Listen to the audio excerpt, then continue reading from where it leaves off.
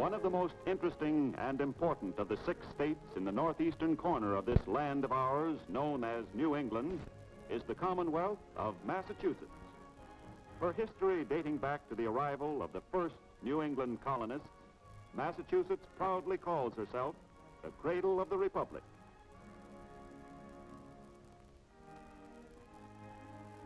From one end of the state to the other are reminders of great men and great deeds. On the village green at Lexington, in a skirmish between Minutemen and cracked British redcoats, the shot was fired that was heard round the world, setting off the war for independence. And at the Battle of Bunker Hill, under the grim command, don't shoot till you see the whites of their eyes, Minutemen stood their ground and died that liberty might live. The capital and largest city of the Commonwealth is Boston. Boston was the scene of many exciting episodes in America's struggle for independence. In the shadow of the old State House, British troops fired on a crowd of citizens in the tragic Boston Massacre, one of the principal events leading to the Revolution. From the belfry of the old North Church was swung the signal lantern that sent Paul Revere galloping away to arouse the countryside with news that the British were coming.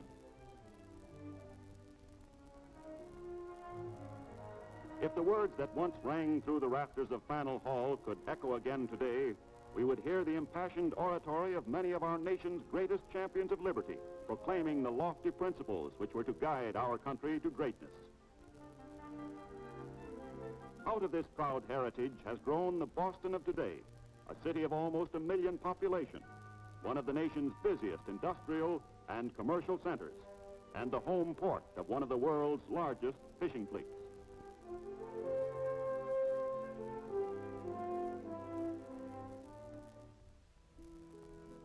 Comprising practically all of the granite peninsula of Cape Ann is the modern industrial city and picturesque seaport of Gloucester.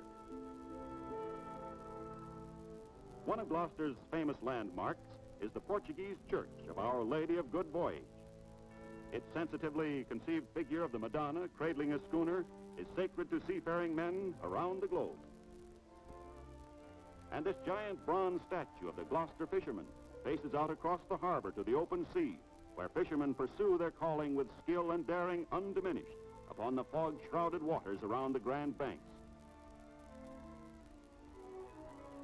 On the tip of Cape Cod nestles the best known and perhaps the most colorful of its old villages, Provincetown, widely known for its art colony. Of interest historically, as the first landing place of the Pilgrims, Provincetown is the only village in the United States where an authentic town crier still makes his rounds, ringing his bell and chanting the news of the day.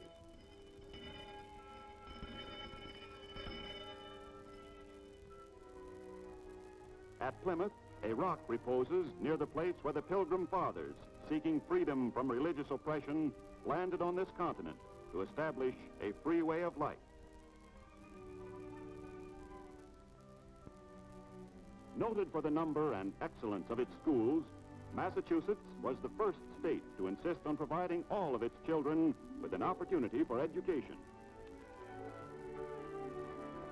Among the state's many outstanding institutions of higher learning is Smith, located at Northampton, one of three of the most noted colleges for women in the state.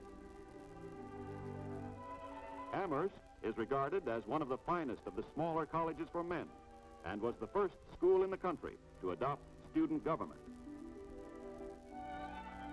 The beautiful campus of Williams College at Williamstown in the Berkshires spreads over more than 400 acres Dating back to 1790, Williams is recognized as a cultural leader among America's smaller colleges.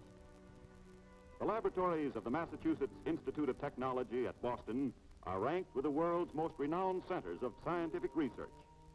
And at Cambridge is the oldest university in America, Harvard, founded more than 300 years ago and long since recognized as being outstanding among the world's finest educational institutions.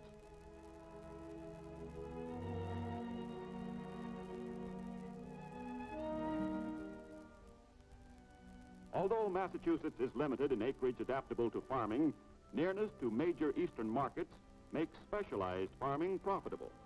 Of considerable importance is shade-grown tobacco. Under these huge coverings is grown some of the nation's finest wrapper leaf.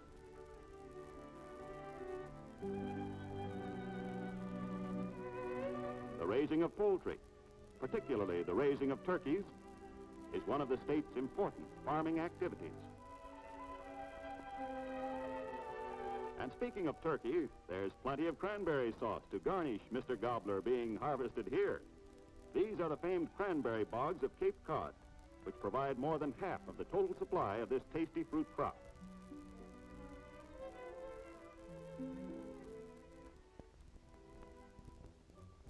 But Massachusetts is primarily a manufacturing state, having been devoted to industry almost from the time it was first settled.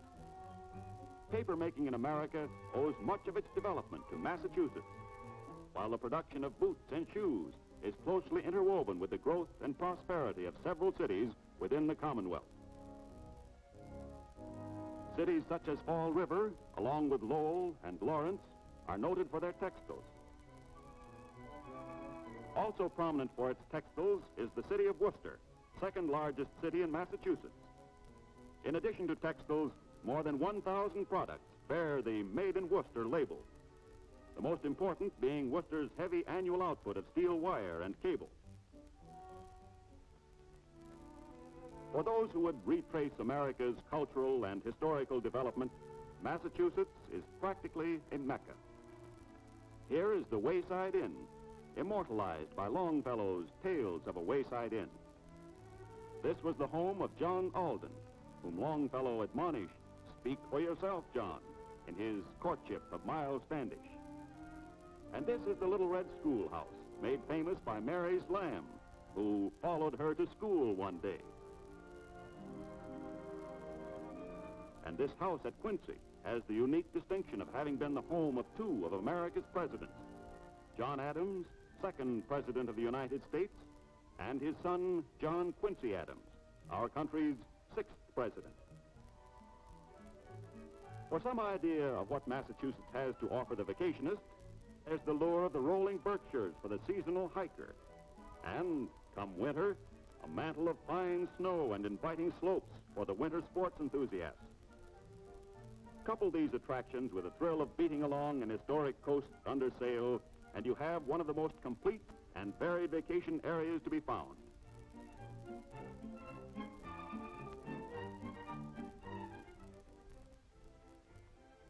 So there you have the Commonwealth of Massachusetts, laying proud claim to the title Cradle of the Republic, where first near Provincetown, then near Plymouth, the Pilgrim Fathers landed to establish a way of life free from religious persecution. There you have Boston, capital city, with its many reminders of America's history, including famed Faneuil Hall, where great men raised their voices that life, liberty, and the pursuit of happiness would prevail. There you have Lexington, where the Revolutionary War began. The memorial to the Battle of Bunker Hill. Provincetown, the only village in America where an authentic town crier still makes his rounds. And Harvard University, one of the world's most honored centers of learning and the oldest university in America. Indeed, all this is Massachusetts one of the nation's most important industrial and commercial areas. Combine her industry with her culture, her history and tourist attractions, and you have one of the most interesting and important states in this land of ours.